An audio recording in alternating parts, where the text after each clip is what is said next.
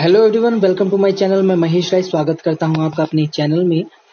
तो ये जो क्वेश्चन पेपर है, ये 2015 का क्वेश्चन पेपर है और जून का है। ठीक है? और ये तीसरा थर्ड क्वेश्चन पेपर है और इसकी पांचवी वीडियो क्लास है। ठीक है? पांचवी वीडियो क्लास है। ये लास्ट वीडियो क्लास है। ये पूरी तरीके से कंप्लीट हो जाएगा। उसके बाद हम 2014 का क्वेश्चन पेपर करेंगे। तो चलिए ये देखिए, सही क्रम में व्यवस्थित करें। तो ये पूरा लिखा हुआ है, आप देख सकते हैं। ये हमने क्वेश्चन कर लिया था, इसलिए मैं डायरेक्ट इसका आंसर बता देता हूँ तो इसका बी होगा। ठीक है? ये सही क्रम है। चलिए आगे चलते हैं। सूची एक को सूची दो के साथ सुमिलित करें, ठीक है? ये आपको सुमिलित करना है, मैं दिखा देता हूँ, कुट भी आपको। ये देखिए कुट भी आपको दिया गया है। देखिए और बताइए। देखिए, इसका जो सही आंसर है वो है ए ठीक है?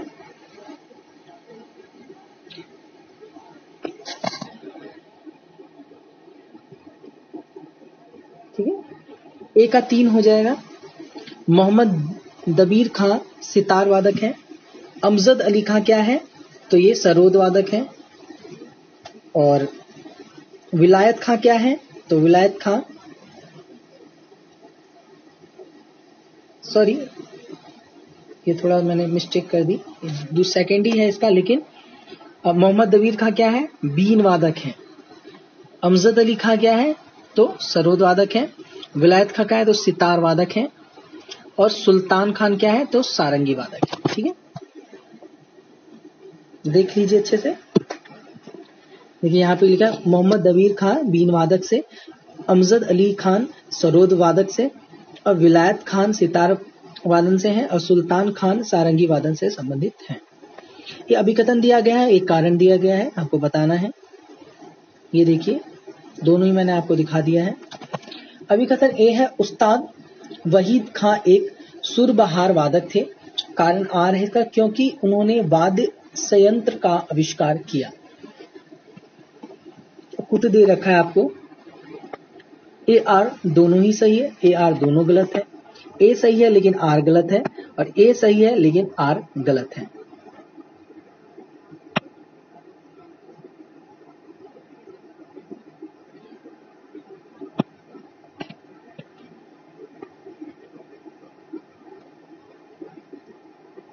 सही आंसर है इसका सी। ए आर दोनों ही गलत है। ठीक है? बी आंसर इसका सही होगा। सॉरी इसका सी आंसर होगा। हुँ? कथन तो इसका सही है। उस्ताद वहीद का एक सुरबहार वादक है, और परंतु कारण इसका गलत है। क्वेश्चन नंबर 63 है, निम्नलिखित को सुमिलित करें। भैरवी झिंझोटी,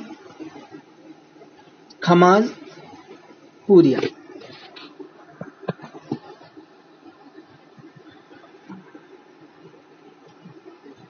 इसका जो सही आंसर है वो है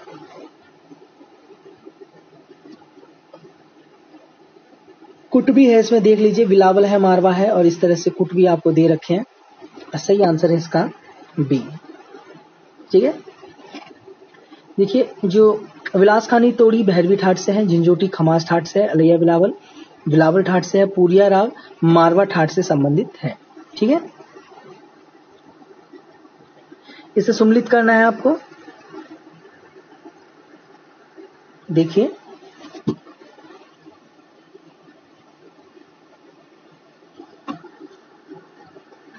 चलिए इसे सुमिलित करते हैं, इसका सही आंसर होगा सी। ठीक है? कैसे देखिए?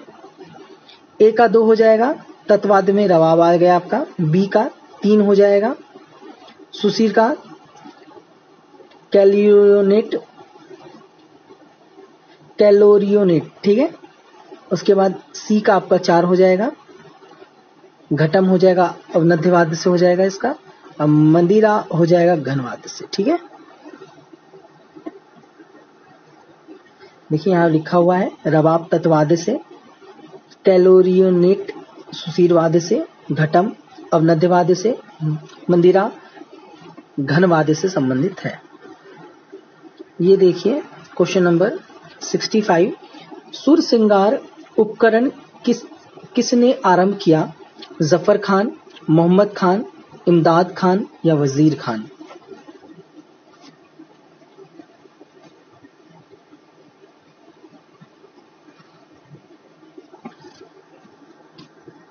इसका जो सही आंसर होगा वो होगा ए। ज़फ़र खान ने शुरू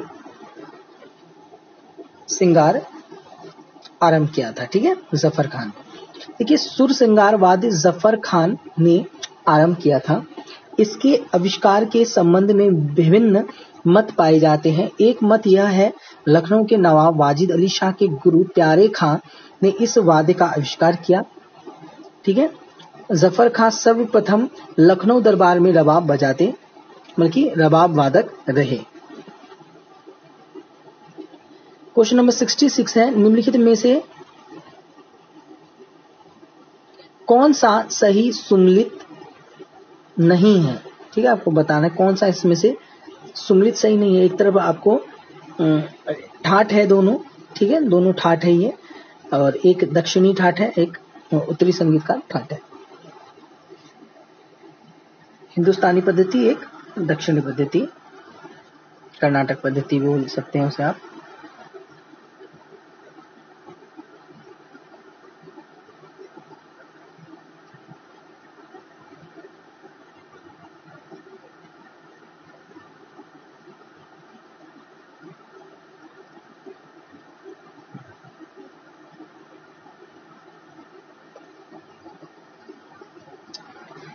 डी आंसर इसका दे रखा है।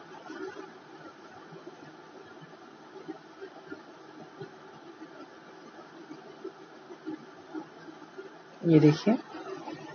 भैरव को माल व गौल मील कहते हैं। ये थोड़ा सा अजीब सा लिखा हुआ है। माया माल, है ना? इसे माया मालव गौड़ कहते हैं इसे। ये थोड़ा सा अजीब सा लिखा हुआ है हा? कर्नाटक संगीत में हिंदुस्तानी के दस ठाट के नाम को अल, अलग नामों से जानते हैं। कल्याण ठाट को कल्याणी बिलावल को संक्राभण खमास को हरि काम्भोजी पूर्वी को कामवर्धिनी और गम, मारवा को गमन प्रिया काफ़ी को खरहर प्रिया और आसावरी को नट भैरवी भैरवी को हनुमंत तोड़ी तोड़ी को शोकपंत बुरालू के नाम से जाना जाता है। तो देखिए इसका जो है ना ये मत देखिए आप हम्म? काफ़ी को खरहर पिया कहा जाता है, ठीक है? तोड़ी को क्या कहा जाता है? तोड़ी को शुभपंथ प्रणाली कहा जाता है, भैरव का भी ठीक है। जो बी है ना, मारवा, ये काम वर्धनी नहीं होगा। मारवा का होता है गमन प्रिया, ठीक है? काम वर्धनी कहते हैं पूर्वी को, ठीक है? काम वर्धनी किसको कहते हैं? पूर्वी को कहते हैं, याद रखना, ठीक है?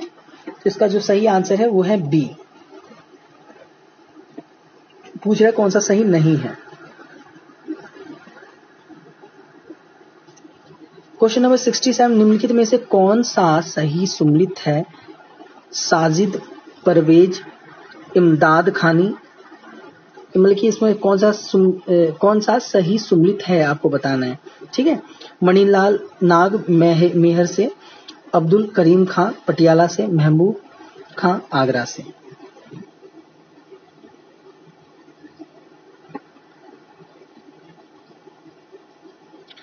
देखिए इसका सही आंसर होगा बी मणिलाल नाग मेहरा घराने से मेहर घराने से संबंधित है। मेहर घराने की नींव अलाउद्दीन खान ने रखी थी। इस घराने के अन्य कलाकार पंडित रविशंकर शंकर निखिल निखिल बनर्जी अन्नपूर्णा देवी अली अकबर खां इंद्रनील और भट्टाचार्य श्री पन्नालाल घोष स्वर्ण रानी, रानी माथुर और राबीन घोष इत्यादि लोग हैं। Robin Ghosh.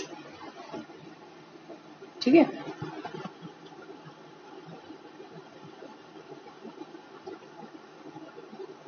Question number sixty eight है। आर डी बर्मन ने किन से सरोद बजाना सीखा था? आर डी बर्मन ने, है ना? ये तो बहुत ज़्यादा विख्यात है। उस्ताद अलाउद्दीन खान, ठीक है? पंडित राधिका मोहन मोइत्रा, ठीक है?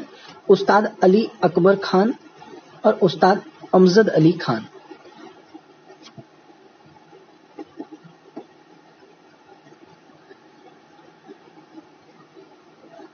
इसका सही आंसर होगा सी।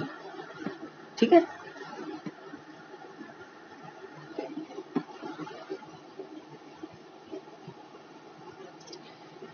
आर डी बर्मन ने अली अकबर खान।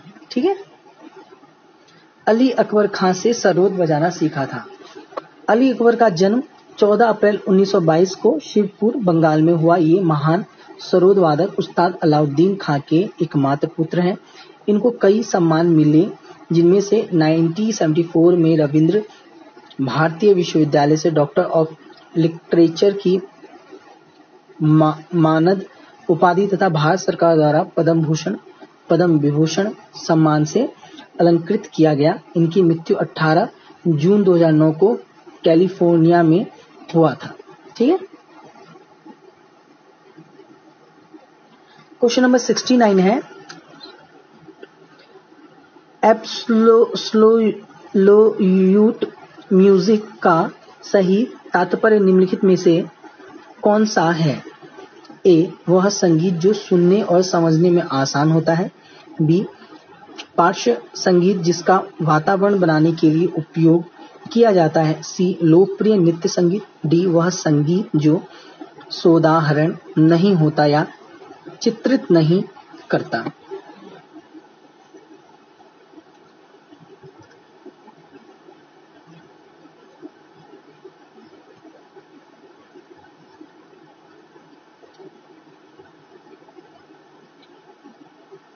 इसका सही आंसर होगा डी ठीक है? वह संगीत जो सोदाहरण नहीं होता या चित्रित नहीं होता, ठीक है? यह इसका आंसर होगा। डी ठीक है?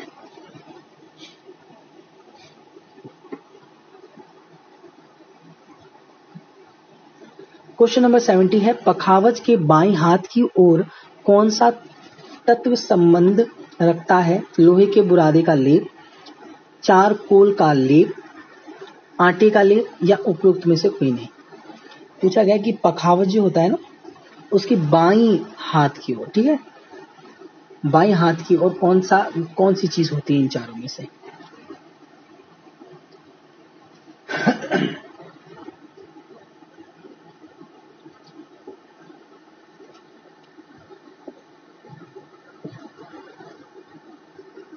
सही आंसर इसका सी आटे का लेप होता है ठीक है?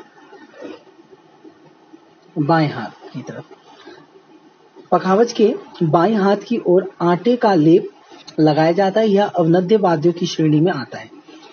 इसके दोन, दोनों मुख पर चमड़े से मढ़े होते हैं। इसका प्रयोग द्रुपद गायन के साथ किया जाता है। क्वेश्चन नंबर इकहत्तर है रूपक ताल को एक सही तीन बट्टे चार लयकारी बनाने के लिए कितनी मात्रा ज़रूरी है? पाँच, तीन,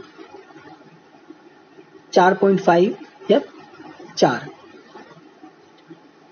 या चार दशमलव पाँच, ऐसे ही बोल सकते हैं।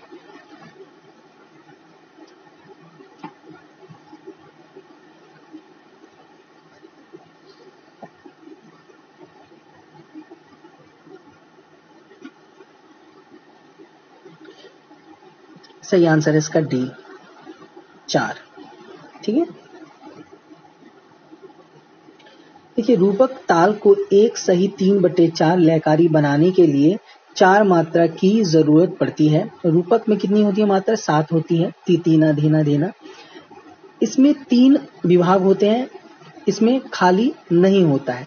कभी कभी क्वेश्चन ऐसा था पूछ दिया जाता है कि रूपक में खाली कौन सी मात्रा पड़ती है? तो लोग पहली मात्रा पे खाली इसको बोला जाता है। अब पहली मात्रा पे सम भी इसे कहा जाता है, और पहली मात्रा पे खाली भी कहा जाता है। जैसा पूछा जाता है, उस हिसाब आंसर देना होता है। तो तीतीना, धीना धीना इसके और बोल है।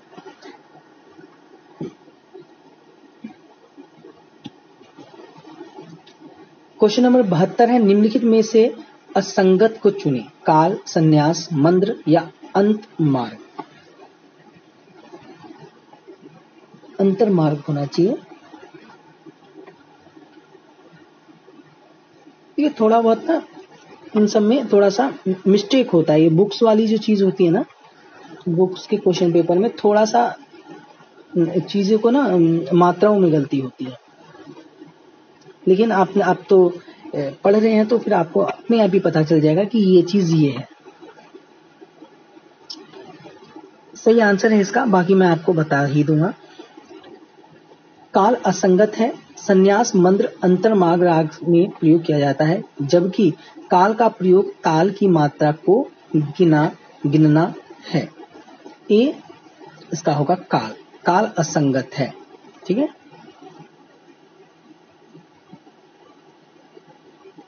देखिए, क्वेश्चन नंबर तिहत्तर है, यह राग ललित में सडज को मध्यम की तरह लिया जाता है तो कौन सा राग प्राप्त होगा? मुल्तानी, बिहाग, तोड़ी, विलावल। अब ये जो दिया गया है ना, ये बी ऑप्शन ये बेहाग नहीं है ये बिहाग है, ठीक है? छोटी की मात्रा इस पे चढ़ेगी।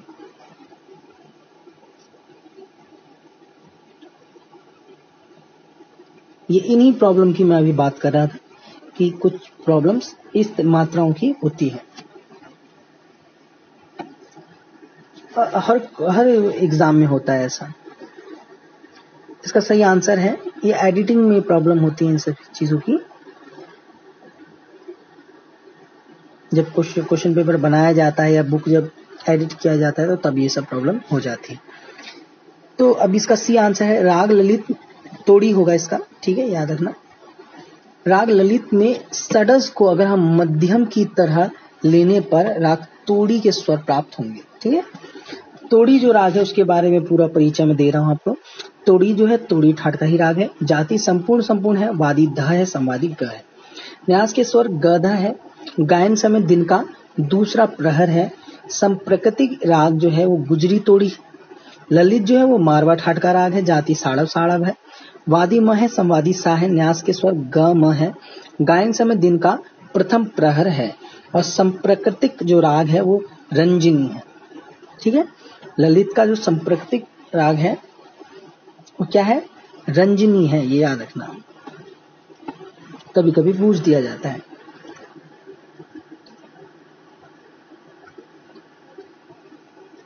देखिए क्या है, क्वेश्चन नंबर सेवेंटी फोर। निम्नलिखित में से कौन सा एक रागों का समूह समय के क्रमानुसार लिखा गया है? ठीक है?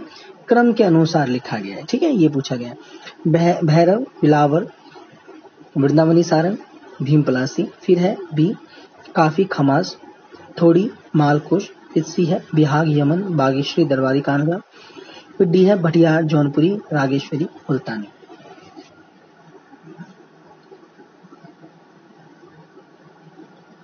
इसके कर्म को कैसे आप पहचानेंगे?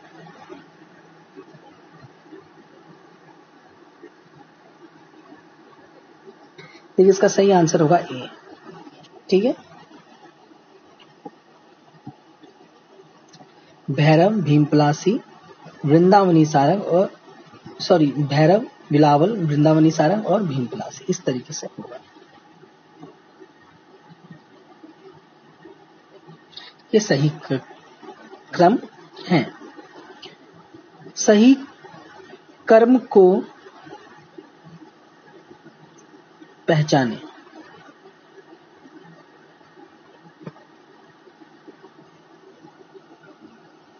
देखिए, जो ए है, मार्ग जाति, प्रस्तार, अंग, ग्रह, कला, क्रिया, लय, यति, काल। बी है, काल, मार्ग, क्रिया, अंग, ग्रह, जाति, कला, लय, यति, प्रस्तार। सी है, क्रिया, प्रस्तार, लय, अंग, जाति, यति, मार्ग, काल, कला, ग्रह। और चौथा है, प्रस्तार, यति, लय, कला, ग्रह, अंग, जाति, क्रिया, मार्ग, कला। इसका जो सही आंसर होगा वो होगा बी।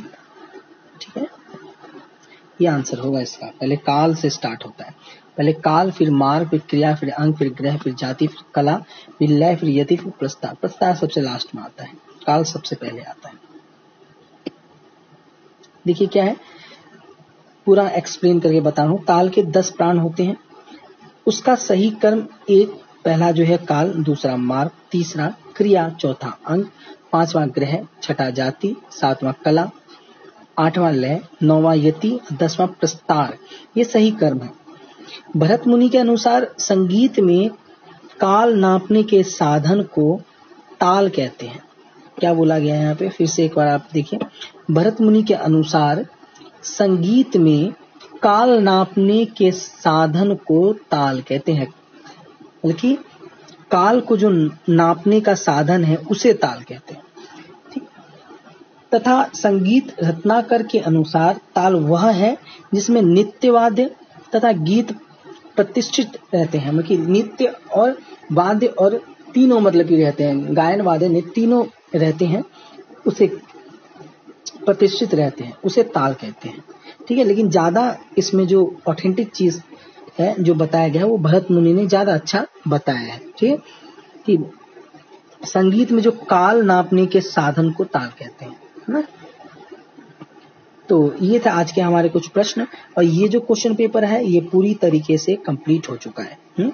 ये 2015 का क्वेश्चन पेपर है, जून का है, ठीक है जून का है, और ये थर्ड क्वेश्चन पेपर था, और इसकी पांचवी वीडियो क्लास थी, पंद्रह पंद्रह करके क्वेश्चन हुए थे इसमें तो सारे वो क्लासेस हो चुकी हैं।